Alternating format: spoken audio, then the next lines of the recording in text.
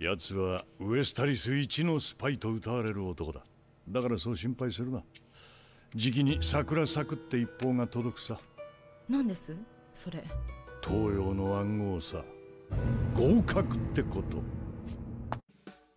This is something that is already explained, but I just wanted to point out that the term sakura saku is a real expression used in Japan to talk about passing an exam.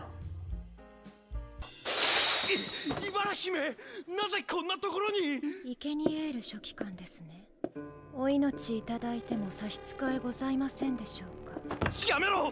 助けてくれ！This scene made me really confused when I saw the difference between the Japanese and the English subtitle because they decided to change the name Ikenielu to Zachry Feiss. And I was really wondering why they would change the name of a person.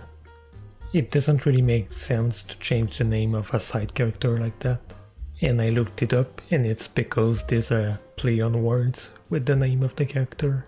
Because in Japanese, ikenie means a sacrifice, a living sacrifice. So it's not the actual name of the person, it's just your imagination. But they try to keep it also in English. So they chose the name Zachary Sacrifice. Sacrifice. So yeah, that's why the name isn't the same. It's because they try to mimic the hidden meaning behind the name. But I think it's a little bit too far-fetched. Maybe I'm the only one that didn't catch it the first time.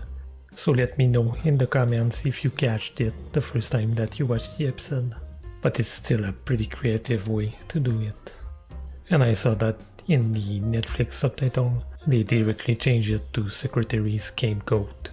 So it's way more straight to the point. 姫を返してもらおう黄昏さんの生演技を見られるなんてバカめおとなしく返すとでも さあ行け最強の魔女ヨルティシアあの男を安らぎにするもじゃ Here in Japanese it's a little bit more graphic. Franky is using the term Yatsuzaki. It's an expression to mean to tear apart, but also it literally means to tear into eight. So yeah, pretty intense expression.